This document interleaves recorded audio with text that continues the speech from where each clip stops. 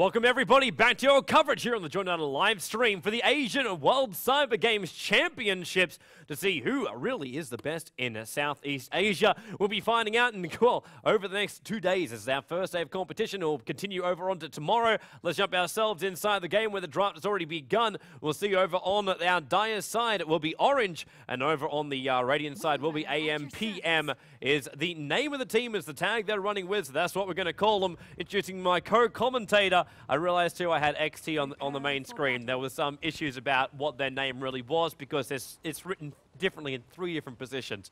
Uh, but we will be going with uh, AMPM because that's what's tagged up. But in the meantime, I am TobiWan and joining me is Ham Sandwich Man. Welcome back to our second game of the day. Yeah, it's good that we get to see Orange. Uh, for those people who are really excited to see Orange in the first round. And but well, they were denied. We did deny a lot of people. I suppose also we should go through the draft very, very quickly for all those boys out there. Uh, a, the AP mode was enabled for this game.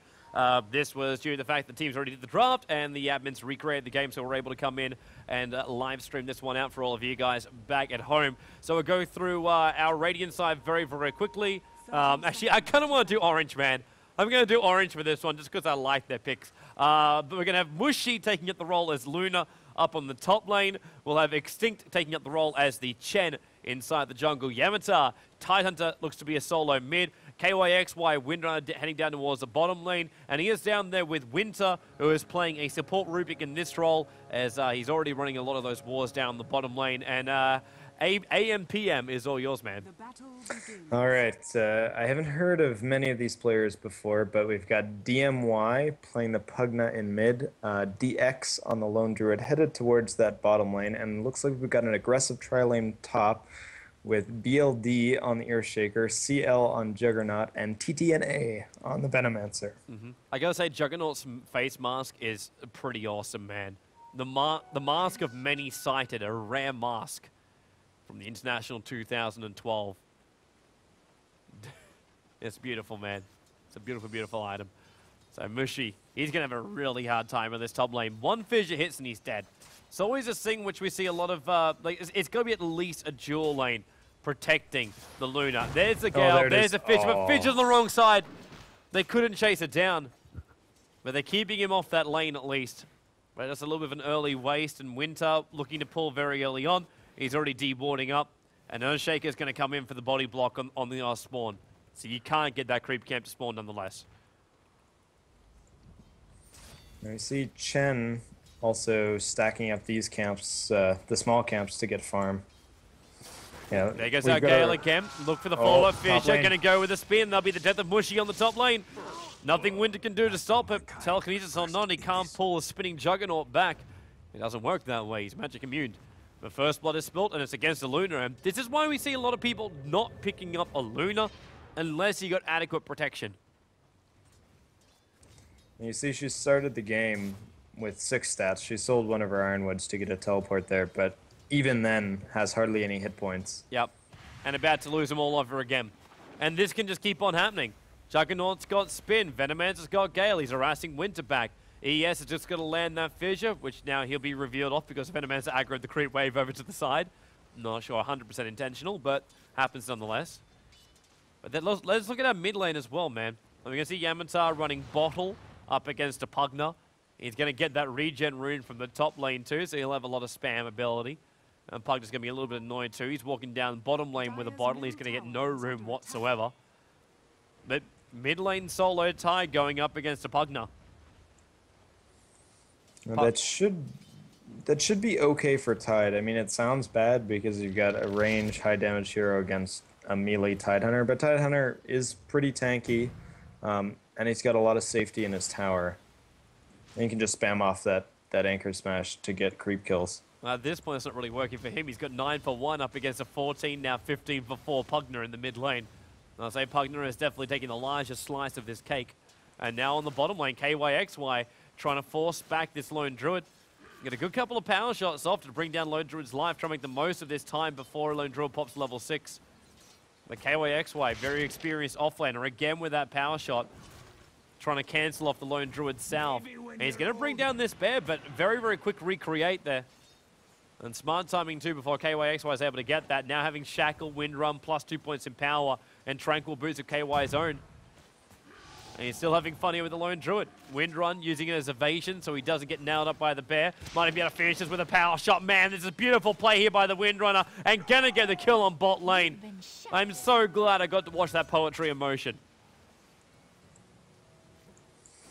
That's really impressive play by Windrunner to get a solo kill on the Lone Druid. Mm -hmm. And she buys up Tranquil Boots right there. So she's back almost at full health. Yep. It's a really smart play.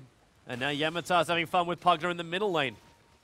Three points in Anchor Smash, plus two points in Gush, and Pugna goes down to 100 life points. Munching on Tangos, and here comes another Gush, which will get a kill for Yamateh, and Pugna's got to know this. But Yamateh yeah. not having vision up the hill because he went back down again. Another thing that we should note about that bottom lane is that Windrunner killed Lone Druid right after he respawned the bear. So he's 90 seconds without the bear on that bottom lane, which is basically free farm for Windrunner. Yeah. It's a beautiful, beautiful time for Windrunner, really.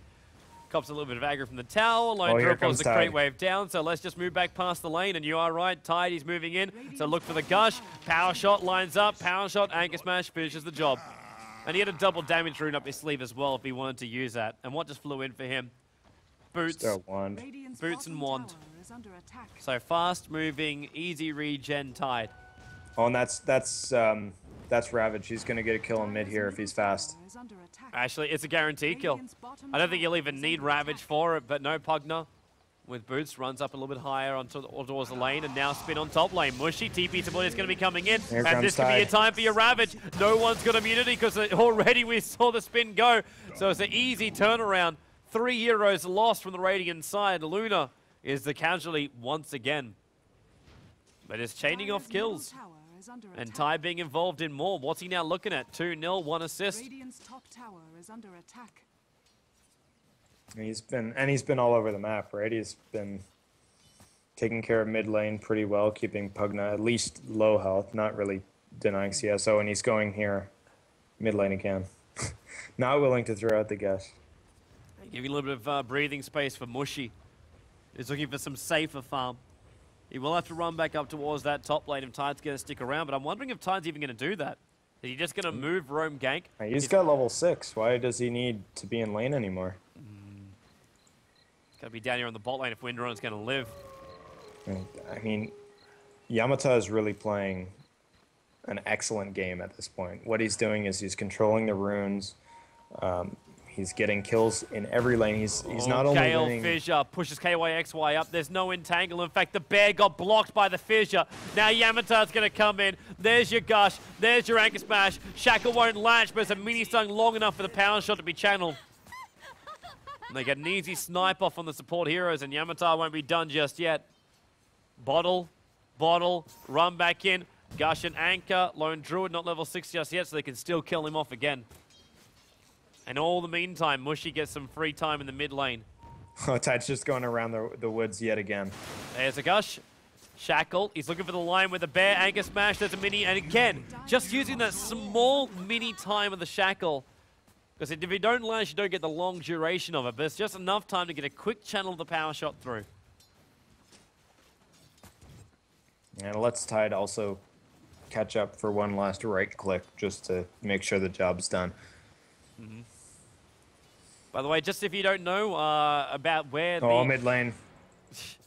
Dead before it even hits. Well, she might go down, or however. Is that another blast? Yeah, there's one blast, and can he get it? He's got to get... Yeah, oh, easy oh, to get it. it. So Luna, get, Luna to go down for the price of the Venomancer. Uh, but this is actually an Indonesian team. For the guys uh, who are wondering about the Radiant side, they're actually a team from Indonesia.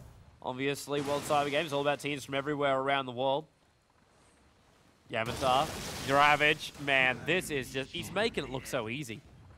And now on the top lane, we, we got Juggernaut spinning around, but then again, Winter's doing the same. Watch that, watch that Rubik spin like a top.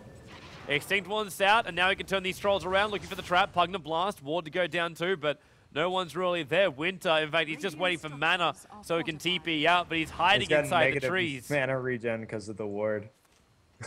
he's going down. There's the Venomancer wall, but look how far he's eaten himself in.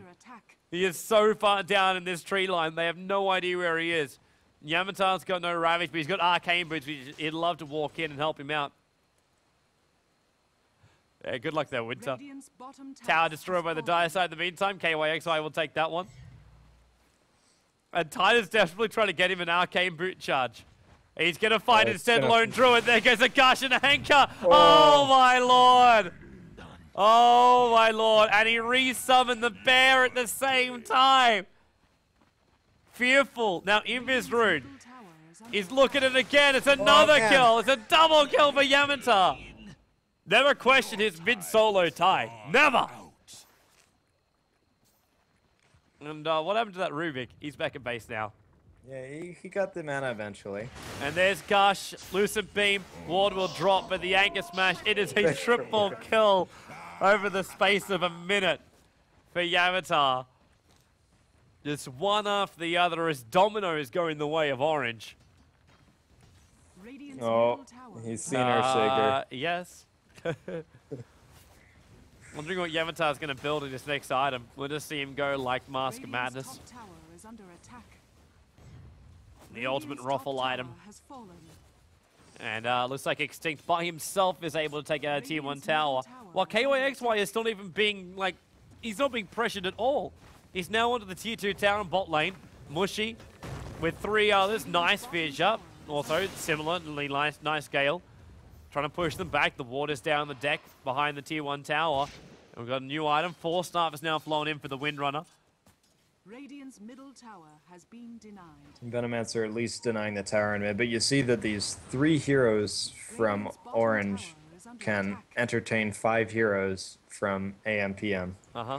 Which basically leaves Windrunner alone and Chen alone, but Chen's coming in. Yeah.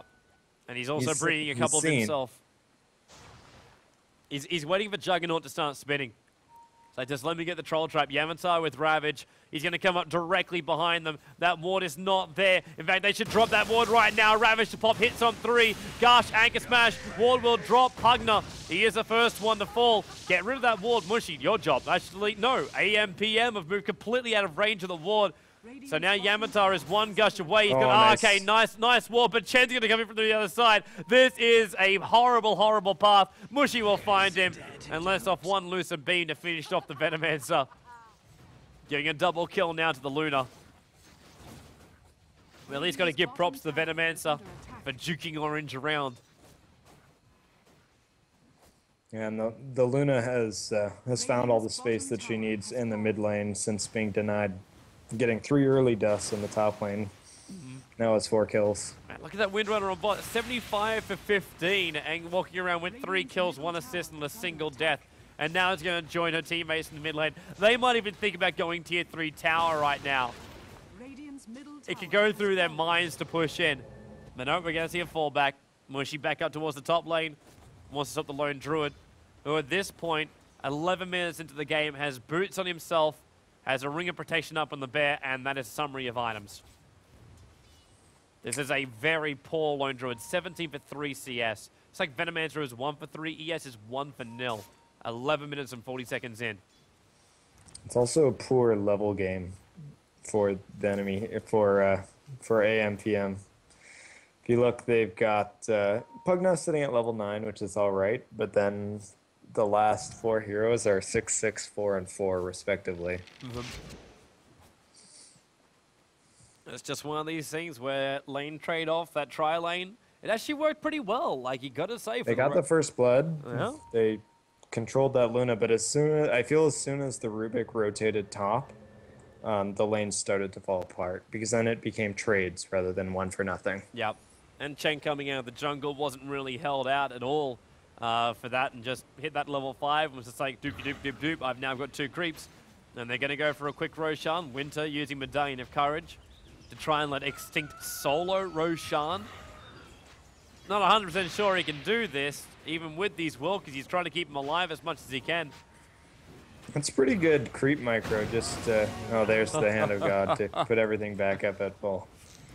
The, it was actually really smart work there by Xtinct. He was losing off his creeps, but he waited for the maximum time One Wildkin tanked up too much, he pulled him back. One Wildkin took, up too much, he pulled him back. Then the Troll would tank it up. And then the Hand of God. Yamateh comes in, he can then tank up the rest of it if he really wants to, but they're not really doing it, and Medallion will let him tick over.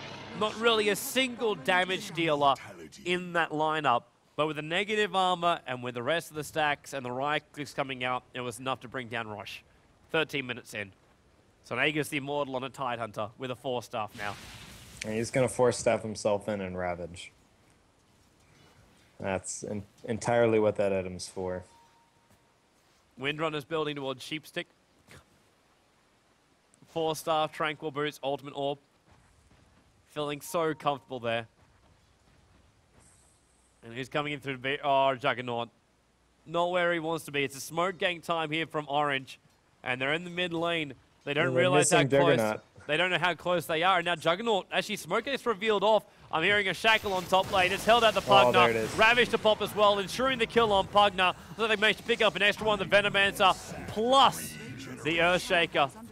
Then Courier is now bringing down everything. There's the oldie out from Juggernaut, trying to slice on Yamateh. And GG call out 14 minutes in. They realize this is all she wrote. This is over. And the disconnect out. Orange international quality team. In fact, international place prize money placement team. Bringing down the boys from Indonesia and dropping them into the lower bracket. Because this was the winner's bracket semi-final. We will be back for more action. It was quick, it was short, it was a little bit of fun. Stick around, we'll be back with more WCG action.